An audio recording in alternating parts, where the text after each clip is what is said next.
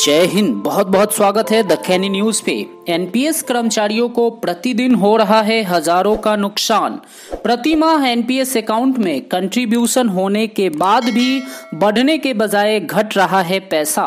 Financial year 2022-23 के पहले quarter में 22.8 प्रतिशत की गिरावट दर्ज की गई। तो आप समझ गए होंगे, यह वीडियो एनपीएस कर्मचारियों के लिए डेडिकेटेड है। आज के इस वीडियो में हम आपको बताएँगे एनपीएस कर्मचारियों को कितना तेज़ी से नुकसान हो रहा है। साथ ही साथ हम ये भी बताएँगे, यदि आप गवर्नमेंट एम्प्लॉय हैं तो आपको ओपीएस के लिए संघर्ष करना क्यों अति आवश्यक है? तो चलिए सबसे पहले आपको एनपीएस से संबंधित यह डाटा दिखाते हैं। उसके बाद मुझे यकीन है कि आप आज से ही ओपीएस के लिए अपना संघर्ष जारी कर दीजिएगा, क्योंकि यह डाटा काफ़ी भयानक है, काफ़ी डरावना है। एक एनपीएस कर्मचारी को ये डाटा काफ़ी डराती है। तो हम आपको पिछले तीन महीने का डाटा दिखाएँगे एनपीएस अकाउंट का। यह डाटा हमने एक कर्मचारी से लिया है।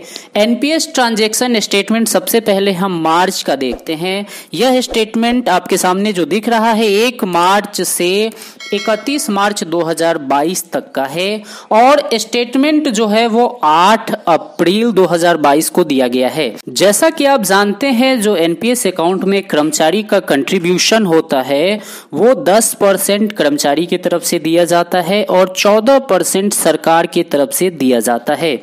यानी कि मार्च महीने में कर्मचारी का जो टोटल डिपॉजिट हुआ कंट्रीब्यूशन हुआ एनपीएस अकाउंट में, वो इक्यासी सौ चौहत्तर रुपए जमा हुआ, जिसमें कर्मचारी के फंड से चौंतीस सौ छह रुपए कटौती हुई और सरकार इसमें सैतालीस सौ अड़सठ रुपए ऐड करके टोटल इक्यासी सौ चौहत्तर रुपए डिपॉजिट किया। अब ये 8 अप्रैल को कर्मचारी के एनपीएस खाते में कुल जमा राशि आप देख सकते हैं। यहाँ पे सात लाख साठ हज़ार सात सौ बाईस रुपए है।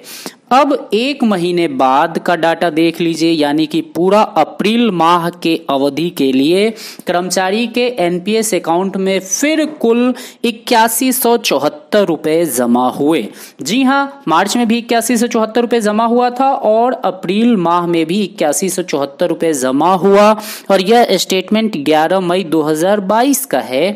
जमा होने के बाद टोटल इस कर्मचारी के अकाउंट में है वो सात लाख इकसठ हज़ार चार सौ सोलह रुपए है। अर्थात मार्च में ये जो टोटल रुपए था, वो सात लाख साठ हज़ार के आसपास था और अप्रैल महीने में आठ हज़ार से अधिक जमा होने के बाद भी सात लाख इकसठ हज़ार ही रहा। इसको और सरल भाषा में समझिए। आपने अप्रैल महीने में इक्यासी सौ चौहत्तर रुपए जमा किए, लेकिन इक्यासी सौ चौहत्तर की जगह पे आपके अकाउंट में मात्र छह सौ चौरानवे रुपए जमा किया गया।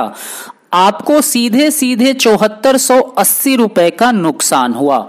और इस अवधि में ये जो एनपीएस अकाउंट में आपका निगेटिव रेट ऑफ़ इंटरेस्ट दिखा रहा है, वो है माइनस ग्यारह पॉइंट फाइव नाइन परसेंट, यानी कि आपको ग्यारह पॉइंट फाइव नाइन परसेंट का नुकसान हुआ। और यह जो नुकसान की अवधि है, वो वहीं पे रुकी नहीं, अभी भी लगातार नुकसान चल रहा है। जब यह कर्मचारी सत्रह मई दो 2022 को अपना एनपीएस अकाउंट चेक किया तो जो राशि 30 अप्रैल 2022 को सात लाख इकसठ हज़ार चार सौ सोलह रुपए थे, वो सत्रह दिनों में आठ हज़ार तीन सौ चौवालीस रुपए घट के सात लाख तिरपन हज़ार बहत्तर रुपए हो गए। यानी कि सत्रह दिनों में आपको कुल तिरासी सौ चौवालीस रुपए का नुकसान हुआ।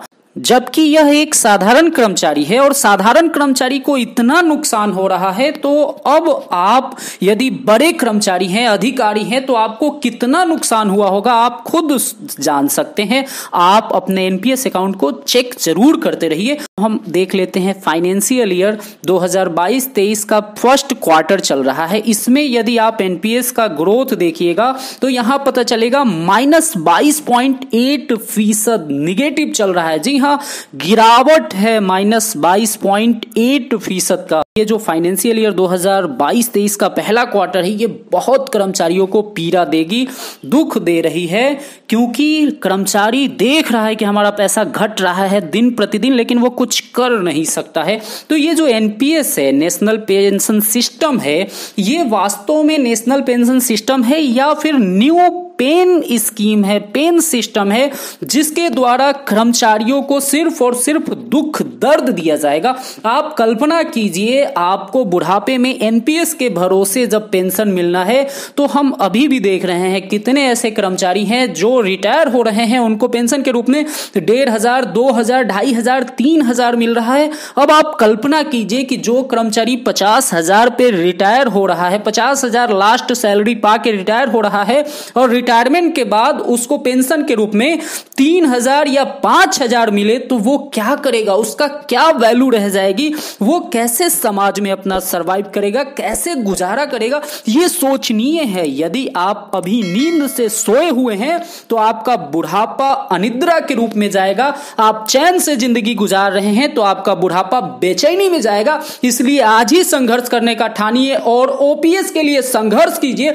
लास्ट में आप सभी से सिर्फ़ इतना ही कहना चाहूँगा कि जो भी संगठन ओपीएस के लिए संघर्ष कर रहा है, उसका आप सहयोग कीजिए, क्योंकि ओपीएस इतनी जटिल समस्या है कि इसका समाधान संगठन के माध्यम से ही हो सकता है। आप अकेले कुछ नहीं कर सकते हैं। और सभी संगठन वाले से मैं ये ज़रूर कहना चाहूँगा कि आप सभी माननीयों के दरवाजे पे जाइए, सभी सांसद, मंत्री, संतरी के घर पे जाइए और वहाँ पे आप ओपीएस के मुद्दा को, उनको ज्ञापन दीजिए और उनको मजबूर कीजिए कि वो संसद में इस मुद्दे को उठाएँ। और हमारे चैनल को सब्सक्राइब करके हमें भी मज़बूत बनाइए ताकि हम भी आपके मुद्दे को मजबूती से उठा सके। इस वीडियो में इतना ही। वीडियो पसंद आए तो लाइक कीजिए, अपने दोस्तों के बीच शेयर कीजिए और चैनल को सब्सक्राइब अवश्य कीजिए। अपना ख्याल रखिए। टेक केयर जय हिंद, जय भारत।